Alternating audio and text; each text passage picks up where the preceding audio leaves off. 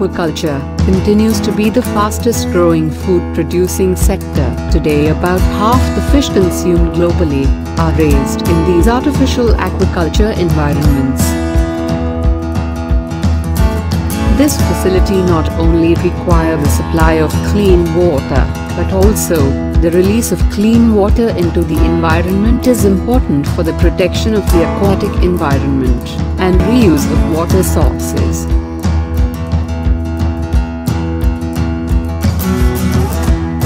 High stocking densities result in a significant amount of pollution from fish excrement and uneaten food, which in turn lead to poor water quality, high in ammonia and low in oxygen.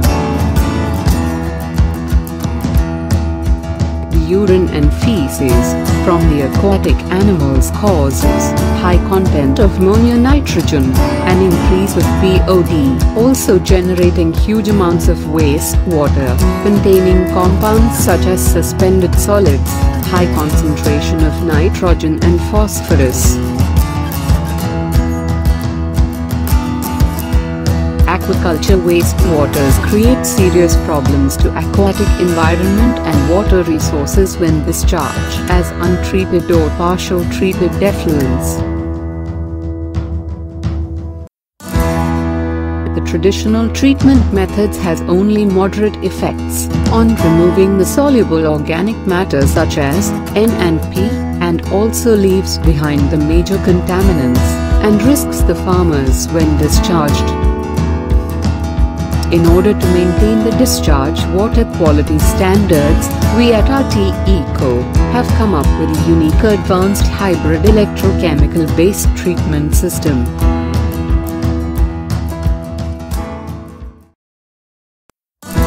We are evaluating one such wastewater using RT Eco Evaluation Kit.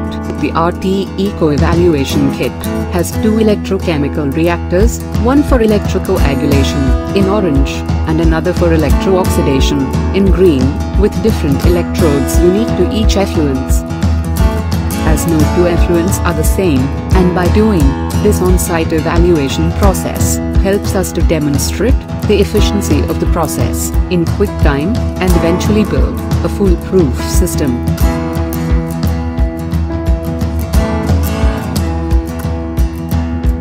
Here, the collected aquaculture wastewater is first tested for its constituents and also sent to certified lab for testing all parameters.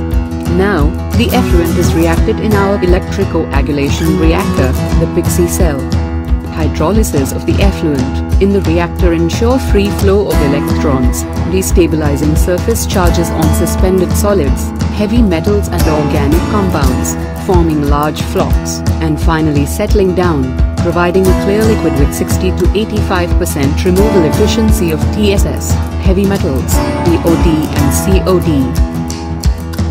On further reacting this in an electrooxidation reactor, electrogen using specialized precious electrode materials ensures removal of most microorganisms, odor, BOD, COD, P and N with 95 to 99% removal efficiency.